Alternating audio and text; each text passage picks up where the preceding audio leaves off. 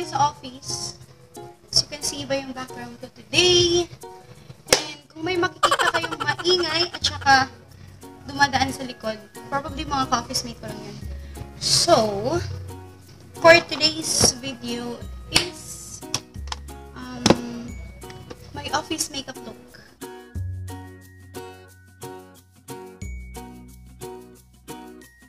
Actually, mag-video ako ng dahil lang sa Pond's BBNCC Cream Foundation. Susubukan natin siya today. So, start na tayo. For my primer, I'm using this Fresh Skin Lab Pore Reducing Cream.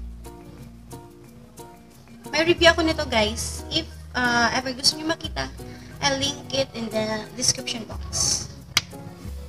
Yan, apply na natin. Mag-moisturize lang ako ng face ko guys and then sunscreen. Huwag niyo kakalimutan yung sunscreen guys kasi importante yun. So, ayan. Massage mo lang.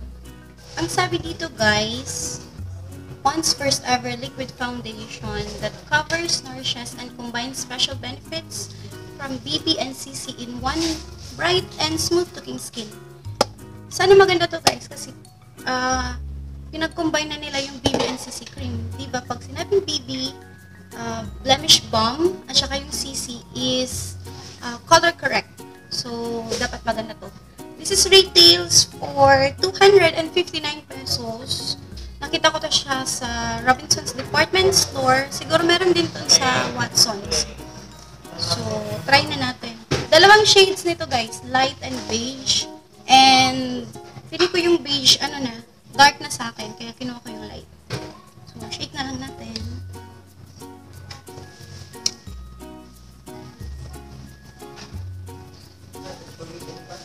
Ay, ay, mabasa po. Yung product, guys. Ayan. Ito yung tsura niya, guys. Ayan. Thick yung consistency niya.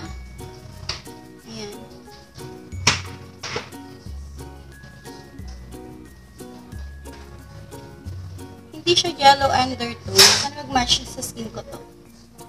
So, apply muna natin dito sa kabilang side.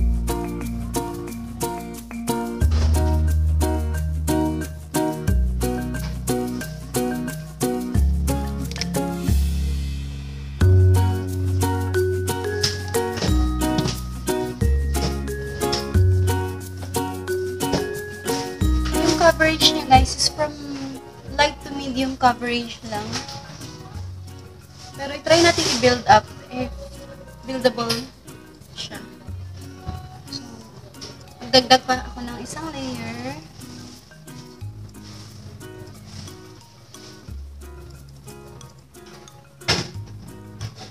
Ayan guys. Ito yung side na walang foundation. Itong side na meron. So, apply ko muna siya for my entire face. Pili ko guys, maganda siyang i-apply using your fingers. Kasi nabiblend talaga siya ng maayos. So, gamitin ko na lang yung fingers ko guys. Yan. Kung hanap niyo yung full coverage guys, hindi pwede tong, ano na to, foundation. Kasi light to medium coverage lang talaga siya. So, magko-concealer lang ako guys.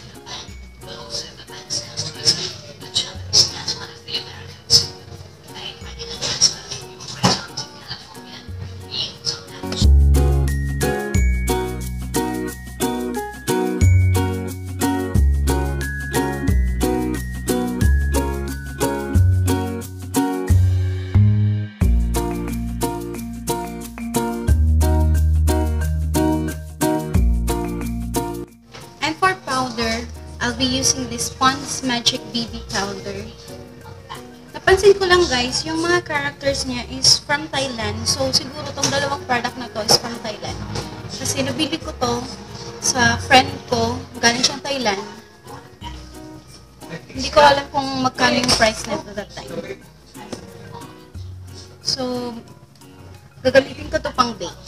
Ayan, na-bake na natin ang ating entire face. Next, eyebrows. So, I'll be doing my eyebrows, guys.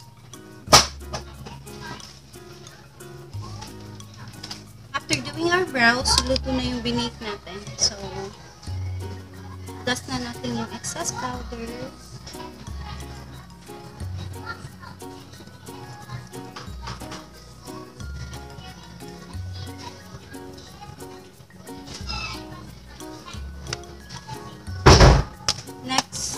Mag-contour ako using this Everbella na blush and contour palette.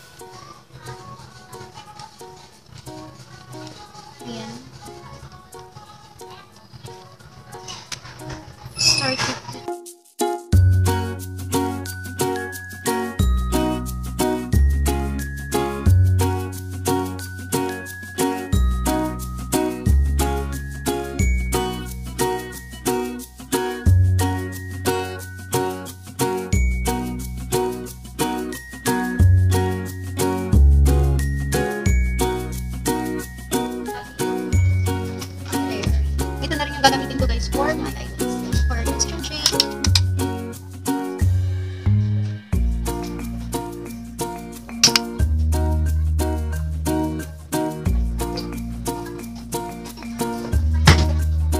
After that, kumuha lang kayo ng any shimmer shadows. Yan. And put it in your entire lids. Ito yung gagamitin kong color today.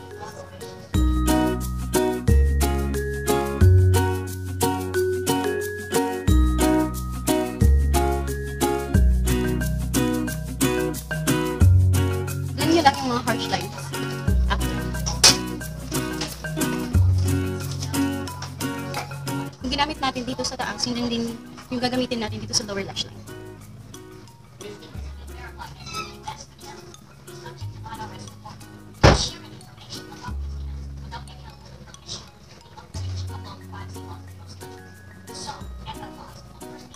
Yan.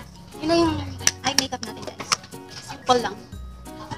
And then next, eyeliner. Iline nyo lang yung uh, eyelids nyo.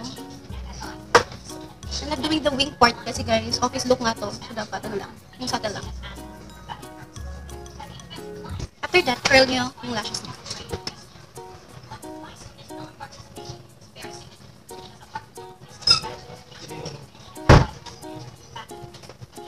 And then apply mascara.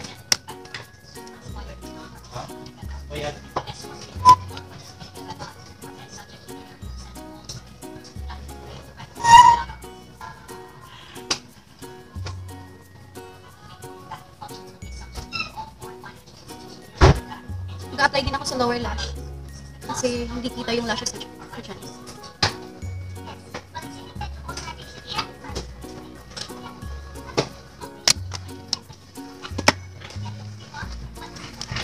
Next, I'll be doing my blush. Ito na rin yung gagamitin ko. Tap nyo lang guys, huwag nyo i-drag para yung product talaga is nandiyan. Next, highlighter. Yan. Highlight your cheeks, your nose. para magkaroon ng light ang inyong light. Yan. Tapos lalagay din ako guys ito sa inner teardrop.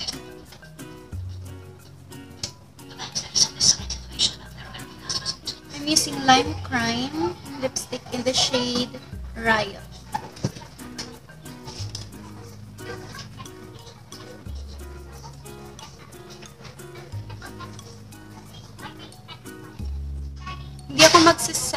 Face ko guys para matry natin kung maganda nga ba tong pants. I'll be updating you guys throughout the day kung maganda nga ba yung performance nito. So, see you later! Hey guys! It's 4.30 p.m. today and update tayo sa pants BB Plus Street. Medyo oily ako dito na sa bandang T-zone. Yan. Pero so far, so good. Wala namang masyadong ano. Tinitingnan ko siya sa salamin. Uh, mabablock lang ako. Well, hindi pa ako nag-block since morning kanina. So, first time ko ba mag-block. Tingnan natin kung may transfer.